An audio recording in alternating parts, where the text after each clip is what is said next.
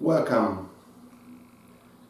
This is a message from the St. Stephen Magyar Church in Passaic, New Jersey. A church is a meeting point where we can meet God and each other. So it is a meeting point as well as vertically and horizontally. First, God came to us from heaven on the first Christmas. He went back to heaven on Easter and on the Ascension.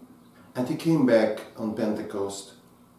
And he is with us until the end of the ages, as Jesus promised us. Do we recognize His infinite love through His Spirit? Do we recognize Him in our lives, basically in the sacrament, sacraments, in our community, that what precious uh, gift we received through the Holy Spirit. I can tell you a story of a beggar on his deathbed. His last, last words were to his youngest son, who, being constant companion during his back trips. Son, he said, I have nothing to give you except for a cotton bag and an old dirty bronze bowl I got in my younger days from a junkyard of a rich lady. So after his father's death, the boy continued begging using this old uh, bowl his father had given him. One day, a gold merchant dropped a coin in the boy's bowl and he was surprised to hear a familiar clinking sound. Let me check your bowl, he said. And to his great surprise, he found that the beggar's bowl was made of pure gold. My dear young man, he said, why do you waste your time begging? You are a rich man.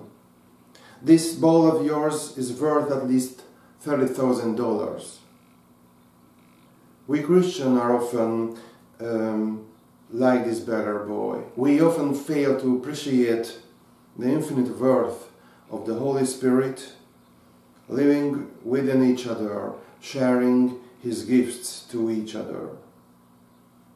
So, on this major feast day, we are invited to experience and appreciate the, the transforming, sanctifying presence of the Holy Spirit within each of us.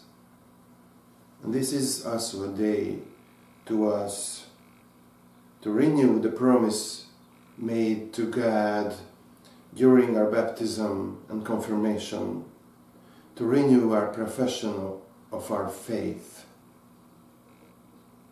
The church is a meeting point.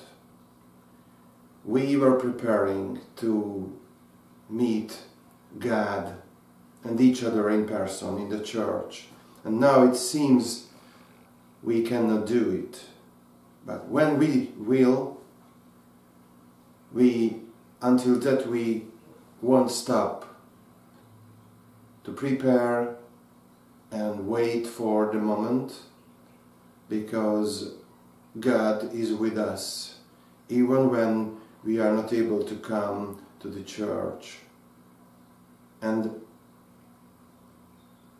and one more thing, um, we now suppose we won't uh, able to come this coming Sunday, this Pentecost Sunday, into the church.